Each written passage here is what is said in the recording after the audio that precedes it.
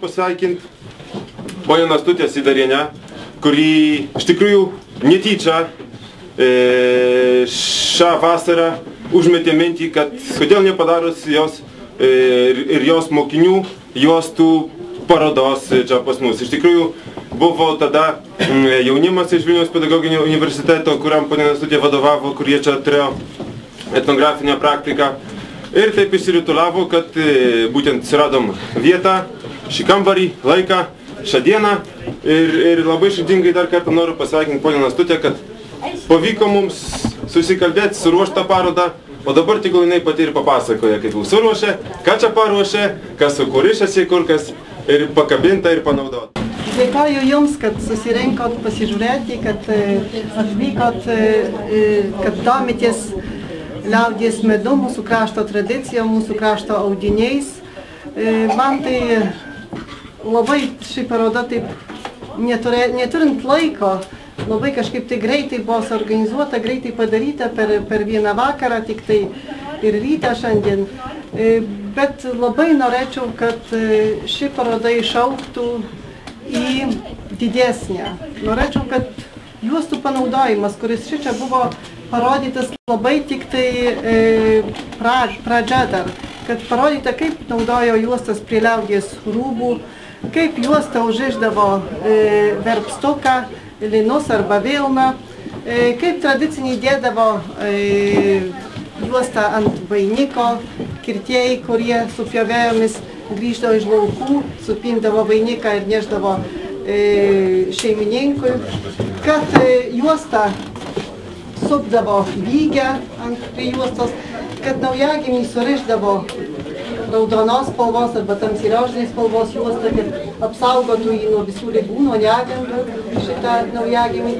Taigi norėtųsi dar nepamiršti, kad ir piršlys juosta ausirišas, norėtųsi nepamiršti, kad e, ta, ta juosta yra dar labai labai daugelį kitų vietų jungtinai, net ir su paskutinėmis gyvenimo minutėmis. Tenai dar prie e, krikšto, irgi prie žvakės juosta e, tokia turiu išautusi.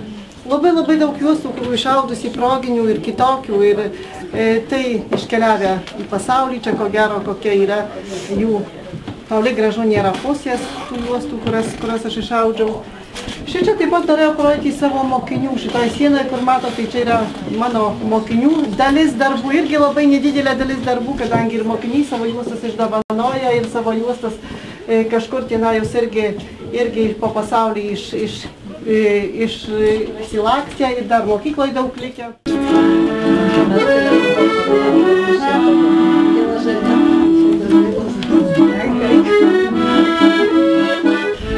Prieš dviejus metus buvo viena paroda surinkta Seinų lietuvių namuose. Gal nesivadina personalinė, gal ten tai buvo tik tai, tik tai juostų paroda. Kartu jinai dalyvavo su, su mano darbais, dalyvavo ir mano mokinių iš Seinų žiburo, iš Navinikų mokyklos mokinių. Taip kad jau galima sakyti, tai yra antroji. Nuo ko prasidėjo? Kas tave išmokė austi? Šio gražaus amato mane išmokė pagrindiniai mokykloj, Vaitekėmio, labai geroj mokykloj mokiausi. Tenajus mokytojai labai buvo sumanus ir jie pasikvietė į mokyklą poną Antaną Kuosą, kuris dar mokėjo austi juostas, nes jau reta buvo žmonių tokių apylinkiai, kurie šitą amatą išmanytų.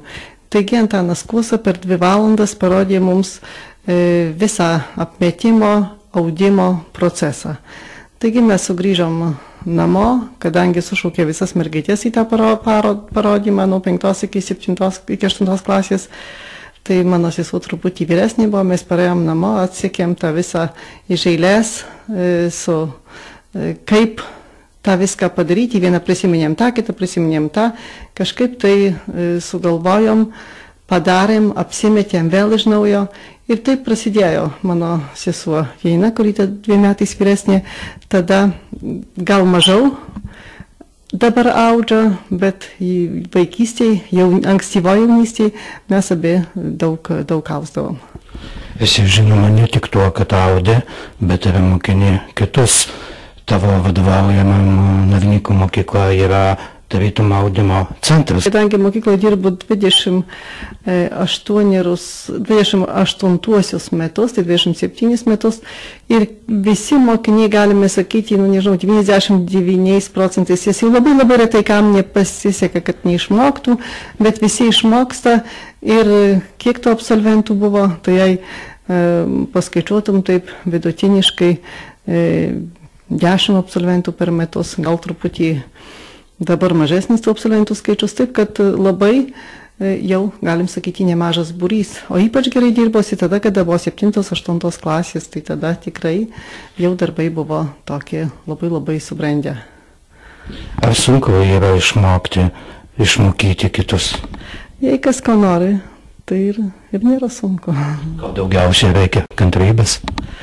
Reikia ir kantrybės, ir sumanumo, ir patirties reikia, kadangi jeigu mes ne, nemokysim su metodais, pati, su patirtim, tai tada tikrai yra nelengva, bet jeigu jau turint patirtį, tai tada, tada gal sakyčiau ir gana paprasta. O labai malonu, jeigu vaikai nori, tai tada visiškai lengvas ir malonus darbas. Be abejo, reikia tam tam tikrų įrankių. Be abejo, reikia įrankių, reikia siūlų, reikia, reikia visko taip, kad, kad tai Tai irgi reikia, reikia tam dalykui rimtai pasiruošti. Siūlų dabar gal ir netrūksta, bet ko gero ne, jie pigus. Be abejo, taip, reikia ieškoti sponsorų. Na gerai, ar ši paroda dar bus kur nors eksponuojama, ar čia yra e, šioje vietoje tarytum vienkartinė, ar kaip ilgai čia veiks? E, manau, kad veiks dar virš mėnesio. E, ar dar kažkur galvosime, pažiūrėsime, kaip žmonėms patiks, kas, koks bus susidomėjimas. E, jeigu norės, tai su malonumu galima ir, ir kažkur Lietuvoje rodyti. Kaip suprantu, parodą galima lankyti šios įstaigos darbo valandomis. Taip, taip, šios įstaigos darbo valandomis susitarus, jei kas norėtų susitarti su manim, aš su malonumu talkinsiu, papasakosiu, parodysiu. Ruoždama parodą labai svajoju, kad parodyti ir juostų panaudojimą mūsų gyvenime, tam, kur seniau žmonės naudojo, kaip dabar naudoja, bet aišku, pavyko tik dalį šitų dalykų parodyti. Svajoju dar, kad parodyti tų dalykų, kurių neįmanoma gyvai, parodyti nuotraukose ar kažkokiu tai kitokiu būdu.